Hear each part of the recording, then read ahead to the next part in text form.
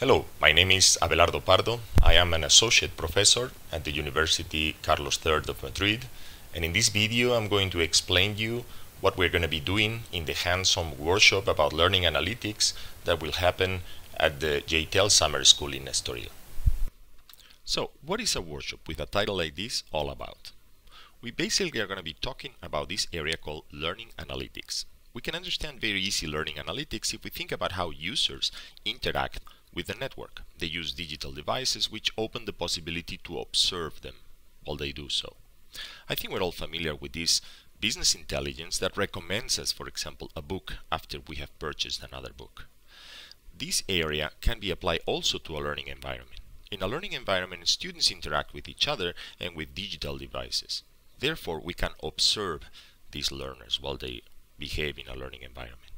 In this workshop, we're going to see how to apply what we call the five steps of analytics to this context. We first need to collect observations about our environment. Those observations are then reported. Those reports allows us to make predictions and the predictions turn into interventions or we act upon the environment. And these four steps can be refined to improve their effectiveness.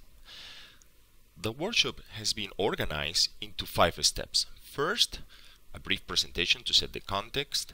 Then we're going to get practical with some data set exploration. We then put our knowledge together in a group discussion. And finally, we explore potential interventions and again, we put them together for the group. The tool we're going to be using is a statistical package called R and its graphical user interface known as RStudio. We need you to bring these tools installed in your own computer and we set a 20 person limit for the workshop. That's it. If you want additional information about the workshop, you can check the URL that is shown in the screen right now.